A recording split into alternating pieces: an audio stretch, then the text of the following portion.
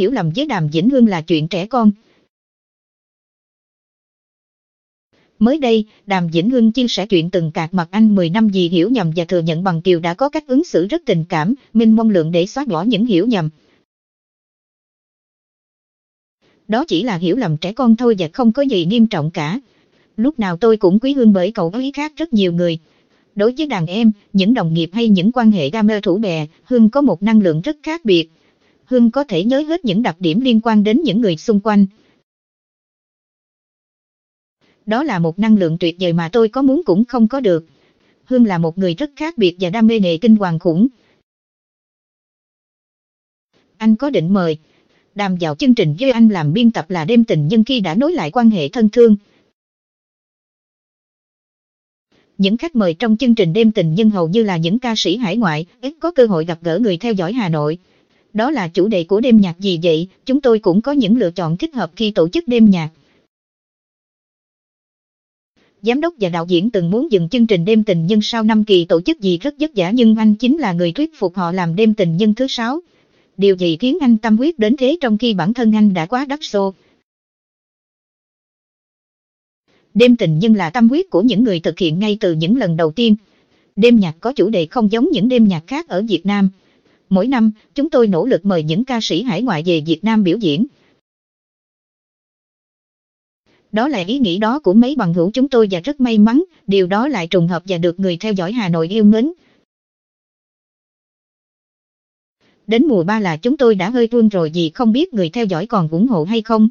Nhưng khi chúng tôi nỗ lực làm tốt thì mọi người lại ghi nhận. Lần nào làm chương trình, chúng tôi cũng làm những điều tốt nhất, tiến bộ nhất chứ không nghĩ sẽ dành dụng gây bất thần cho mùa sau. May mắn, người theo dõi cảm nhận được điều đó nên rất ủng hộ, thủy chung với đêm tình nhân ngay từ mùa đầu. Đứng ở vai trò biên tập âm nhạc, anh sẽ làm gì để chương trình nối tiếp là những sáng sủa tạo mới mẻ không lặp lại dù các khuôn mặt nghệ sĩ không hề mới. Năm nay đêm tình nhân 6 sẽ được tổ chức vào ngày 20 tháng 10, nhân dịp kỷ niệm Ngày Phụ nữ Việt Nam tại Trung tâm Hội nghị Quốc gia Mỹ Đình Hà Nội. Riêng cá nhân tôi tôi không dám ăn to nói lớn gì cả. Nhiều người theo dõi đi xem chương trình trước đã đặt vé chương trình sau vì họ cảm nhận được sự nghiêm túc của chúng tôi. Khán giả hiện giờ rất am hiểu về âm nhạc. Tôi nghĩ họ cũng cảm thấy xứng đáng thì mới bỏ tiền mua vé ủng hộ chúng tôi lâu như vậy. Cái mà chúng tôi tập trung đó là làm như thế nào để ca sĩ thể hiện được tốt nhất tố chất và loài người của họ. Chúng tôi kết nối cái hay của mọi người lại với nhau nhưng vẫn phải có dấu ấn cá nhân. Bằng Kiều Minh Tuyết sẽ có sự kết hợp mới mẻ trên sân khấu. Anh có ý muốn đưa các con lên sân khấu một ngày nào đó kia năm như anh thể hiện năng khiếu âm nhạc và rất được yêu mến trong các clip làm cùng bố. Tôi cũng có ý muốn đưa Năm Nhi cả về diễn chung với bố cho vui nhưng lịch học của các cháu còn chưa bố trí được. Hơn nữa, tôi cũng muốn Năm Nhi học tập trao dồi cho tốt. Cháu rất mê sân khấu đến đi diễn quá sớm sẽ ảnh hưởng tới những việc khác nữa. Tôi và Hoàng hậu cũ hiện tại đang rất vui miệng. Bằng Kiều và Hoàng hậu cũ có quan hệ tốt đẹp khiến nhiều người mến mộ. Anh và hoàng hậu cũ vẫn có mối quan hệ rất tốt và cùng nhau chia sẻ nghĩa vụ chăm nom con cái, dường như hai người đã là tri kỷ và không phải ai cũng làm được điều đó. Tôi nghĩ điều đó không khó đâu. Chúng tôi đều xác định mục tiêu chính là con cái nên đều cảm thấy vui miệng với hiện tại. Đa phần những cặp hoàng hậu chồng xung chợt sau ly hôn đều là vì quyền lợi. Giữa chúng tôi thì không xảy ra điều đó nên mọi thứ rất êm đẹp.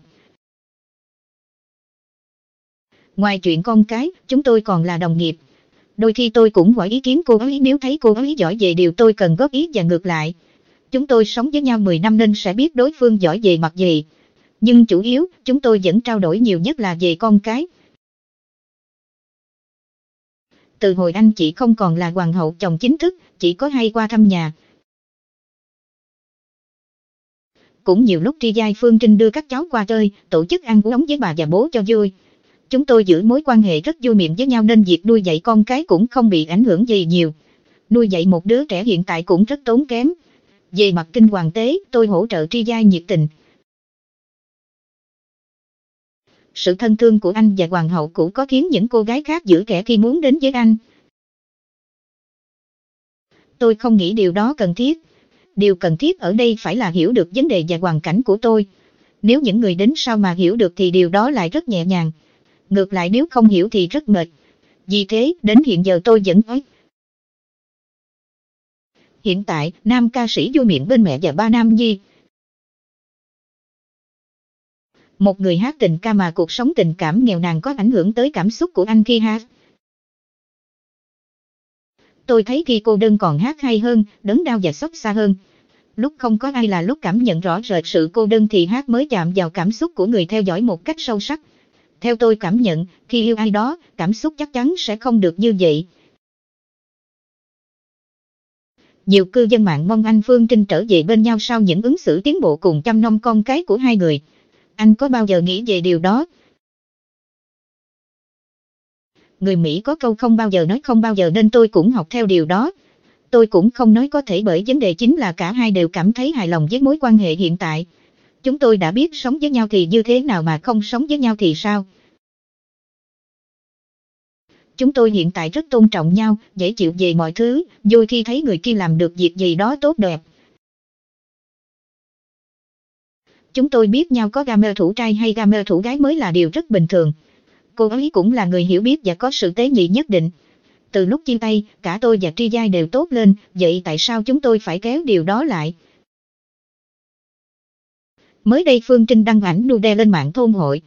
Nhan sắc và hình thể nóng bỏng của cô ấy khiến mọi người mến mộ dù đã ở tuổi 52. Khi nhìn những hình ảnh ấy, anh có bị rung động. Ảnh đó chỉ hơi lanh tanh một chút thôi. Từ lúc trẻ tới giờ thì đẳng cấp thời trang của cô ấy vẫn như vậy nên tôi không quá bất thần. Tôi hiểu Tri Giai hiện tại rất vui miệng, có lẽ cô ấy không tội gì mà đi lấy chồng ở thời điểm này. Công việc, gia đình, con cái đều tốt. Cô ấy cũng dễ chịu và vui miệng. Mẹ của ba đứa trẻ nhà tôi có lẽ 10 năm nữa cũng sẽ vẫn vậy, không bị già đi. Mới đây, Hoa hậu Dương Mỹ Linh công khai tình mới. Anh có cảm thấy ngỡ ngàng về điều này? Tôi không ngỡ ngàng về điều đó, Tôi có tính cách là không quá chú ý tới những chuyện của người khác nên nhiều lúc tôi biết chuyện muộn hơn những người khác. Tất cả những điều cô ấy cần giúp thì tôi đều hết mình. Khi đã chia tay nhau thì chúng tôi mỗi người đều có cuộc sống riêng. Chúng tôi cũng không liên lạc với nhau nữa bởi mỗi người còn có quả riêng. Anh có nghĩ đến việc tìm kiếm một người mới? Tôi không ở một nơi cố định từ năm 2014 mà người thanh nữ thì thích sự ổn định. Nên tôi có thích thì họ cũng không thích. Sau khi chia tay mối tình trước, tôi cũng từng tỏ tình nhưng bị từ chối thẳng thừng. Hiện tại, tôi để mọi thứ tự nhiên chứ không tìm kiếm điều gì cả. Tôi cũng không có mẫu thanh nữ yêu mến cụ thể nào,